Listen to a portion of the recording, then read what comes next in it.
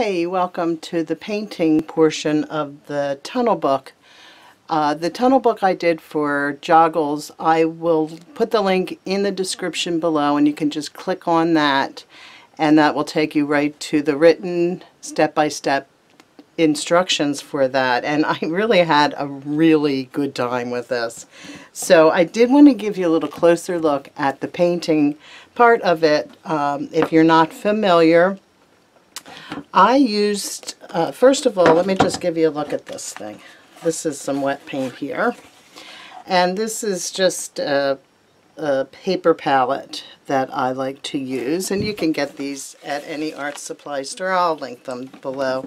And it's a slick surface. It holds up better than freezer paper, which is why I spend the money on this. I've used several different colors of green on this project. And green gold, phthalo green, which is a yellow shade. And I've also, just for the heck of it, because you can, I've used this uh, Dylusions paint. Use whatever greens you like. And the idea is to sort of mix these greens together to get a all over variable in the greens. And you can also mix, and this is one paint that I recommend highly, even if you have no good uh, acrylic paints. The Quin Nickel Azo Gold is really, really excellent. It seems to mix with every single color and just gives it a nice soft edge. This color is available in high flow, um, this kind of flow, whatever flow this is, and then the regular tube paints. And it doesn't matter what kind of a paint you have. These, these are all pigmented in the same way. So that's a high, highly recommend. I did use carbon black and you'll see in the video that I use a touch and I never use it straight up. I always mix it with a blue or a green or it makes a really nice color with this. Just for those little muddy greens and really dark areas that you want to get. Now I did not use this blue, I don't think. I'm not sure why that's out. I usually use Payne's Gray, which is a black gray color, but that was not, I mean it's a blue gray, blue black, but that wasn't working with the colors today. I did go in with Hansa Yellow Light. You could use the Dylusions Yellow. Perfectly great paint. I just started experimenting with these and I like them a lot. I used some titanium white with the yellow for those a few highlights. I used um, uh, the paintbrushes I used. Uh, this was about a uh, maybe a three-quarter inch flat. This is, uh, yeah, three-quarter inch from the Artist Loft. I'm not losing any bristles off of these brushes, which makes me happy.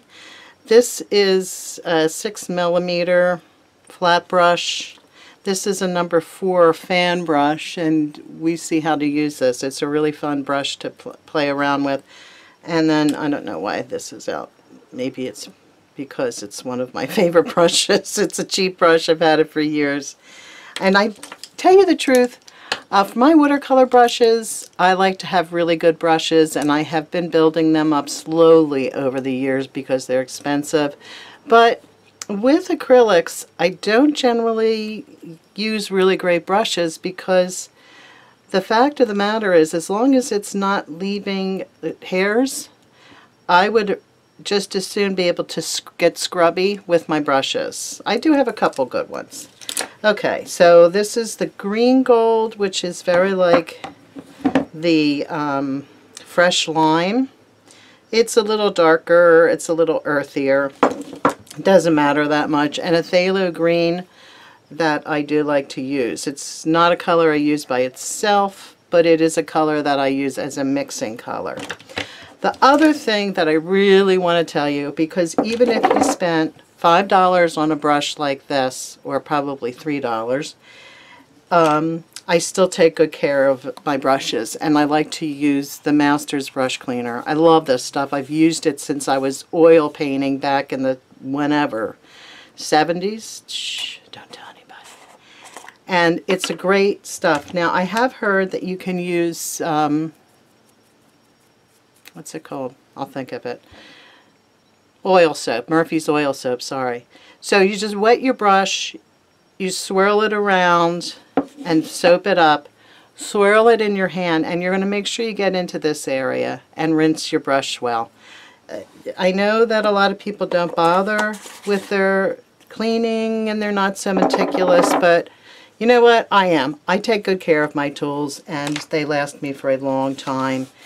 And that's that's what I do. And I recommend that you do that too. When I've taught, even in kids classes, I really encourage them to clean up after themselves well because it's an important skill to learn that. Anyway so let's get to the painting. I hope that you see some new techniques. You don't have to be a great painter to get this job done. It's fun. Just play around with the colors and the paints